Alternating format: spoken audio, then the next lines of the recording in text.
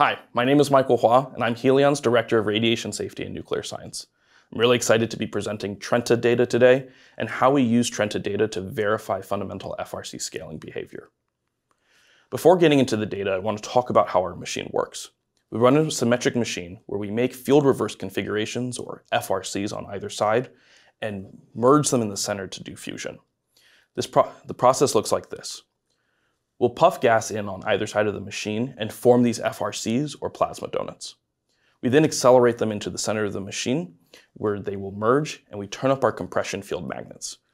By turning up the magnetic field, we increase the plasma temperature, we squeeze, we increase density, and the plasma will reach fusion conditions. Fusion will occur, and charged particles will be born and trapped inside the plasma. This increases the plasma pressure, and that plasma will push back on the magnetic field. FRCs have a unique property where they're very high beta. That means that the ratio of plasma pressure to magnetic pressure is very high. It's very close to one. And that means with very high efficiency, as we push back on the magnetic field, we can recapture electricity. This is at a much higher efficiency than thermal cycles, and it's again unique to FRCs because a lot of other plasma configurations have very low betas, and you can't trap at a higher efficiency than beta. I mentioned that we get our energy from charged particles, and that allows Helion to pursue advanced fuels like deuterium-helium-3 fusion. Helium-3, the nucleus of a helium-3, is called a helion, and that's why we're Helion Energy. We're unique in this way. And the reason that we like this fuel is not only does it create charged particles, where we get energy, creates a proton and an alpha, it doesn't create radiation nor radioactive byproduct. Of course, there's no free lunch in energy. The deuterium is still inside the chamber, and that deuterium will fuse in side reactions, 50% of the time creating a triton, the other 50% of the time creating a neutron. This neutron acts as a very useful diagnostic for how much fusion is occurring. And this neutron is what we're going to focus on for the rest of the presentation. To detect these neutrons, we need neutron diagnostics. You're seeing two of them on the slide right now. On the left, we have organic scintillation detectors, or EJ301 liquid scintillators. On the right, you're seeing our silver activation detector. The way that silver, the silver detector works is that thermal neutrons will interact with the silver, activate it, turn it radioactive, and then that silver will decay. When it decays, we put it next to other detectors that will detect the decay products and register it as an electric signal. And so what you're looking at are sheets of silver and sheets of scintillator. Now these are just two detectors of many that we fielded on Trenta. We had other activation foils, CR39 etch detectors, and other scintillators. Uh, but for the purposes of this presentation, we're going to focus on these two detectors that we use to measure relative yield. So generally, if we see double the, double the signal in these detectors, we expect that double the fusion happen during that pulse. We're now looking at raw data from each of these detectors. On the left, you're looking at the organic scintillator data, where we're looking at individual pulses as well as a cumulative signal integrated over the duration of a pulse. On the right, you're looking at the silver data.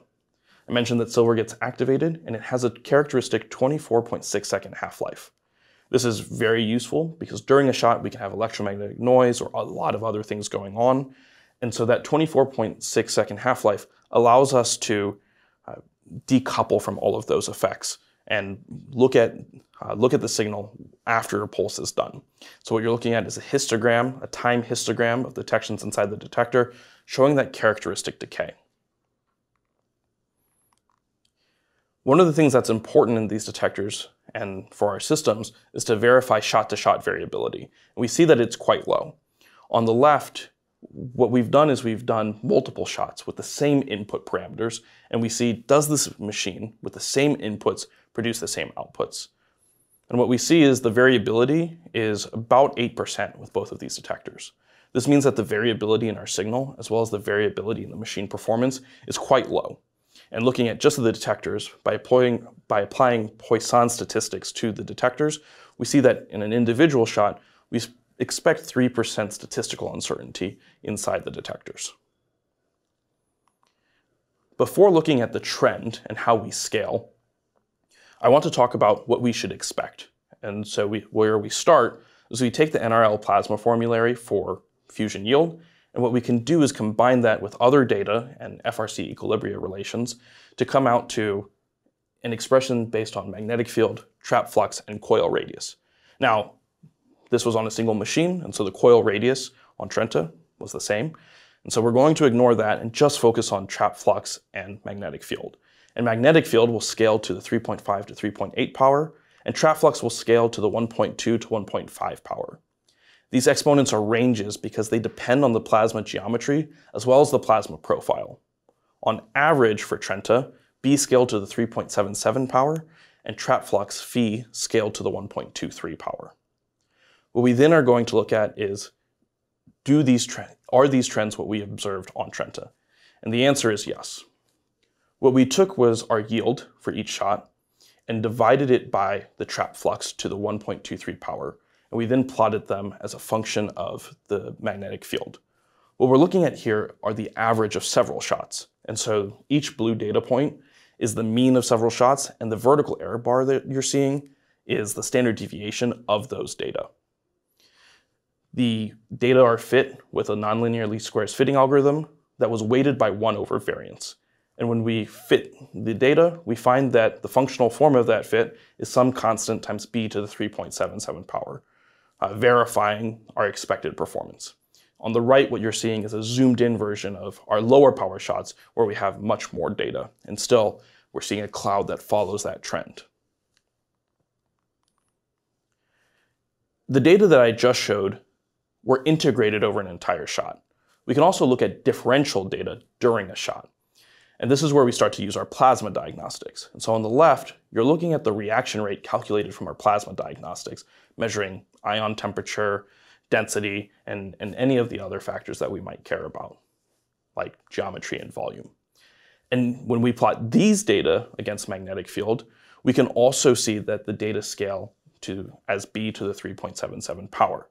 And so there are 11,000 data points here. We could easily have 10 to 100 times more on this plot, still following the same trend. That's the aggregate of several shots.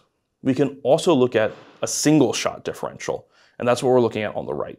And so in the red data, we're seeing the reaction rate, again, calculated from plasma diagnostics. And in the blue data, we're looking at the magnetic field to the 3.76 power. And qualitatively, we can see that these traces follow similar trends. And so we're having thermonuclear fusion that is scaling as our magnetic field.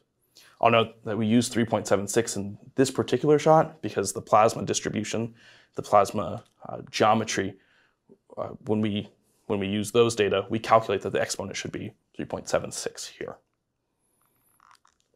In this presentation, we've talked about two diagnostics, and they were two of several that we used on Trenta, and we're using even more on Polaris. We're introducing more activation foils, new scintillators, new techniques to understand neutron energy and ion temperature, so on and so forth. In the bottom, you're seeing several, uh, a couple of our new detectors. In the center, it is our beryllium detector, sheets of beryllium sandwiched between scintillator. And similar to the silver detector, beryllium will get activated by fast neutrons, have a characteristic decay, and uh, decay into the organic scintillator where we detect it. And so on the right, what you're seeing is a time histogram of detections in that detector. And we see that characteristic exponential decay. Another detector that we're working on is our lanthanum bromide detector, also good for fast neutrons. And what we see on the bottom left is a linear trend between our measured yield and our expected yield, measured over several uh, experimental campaigns. This is a detector that we are developing in partnership with Lawrence Livermore National Laboratory, which is one of many partners. We partner with several other universities and several other national labs. If you are interested in partnering with us, I'm all ears. My email is in the bottom of the screen. Please feel free to reach out. With that, I'd like to end on three conclusions. First, Helion creates and fuses FRC plasmas, and we measure the performance of these plasmas with neutron diagnostics. We also verify with Trenta data that our shot-to-shot -shot variability is very low. This means that when we put the same parameters into the machine, we get similar fusion performance out of it. Lastly, as we then changed these plasma parameters, we verified that the changes scaled as we expected. We saw that our fusion yield scaled as magnetic field to the 3.77 power and scaled as trap flux to the 1.23 power. My final takeaway here is that magnetic field is a super exciting way for us to scale our machines where we can turn that knob and turn our fusion power up by quite a bit. That's what we're doing now as we are operating Polaris. With that, thank you for listening.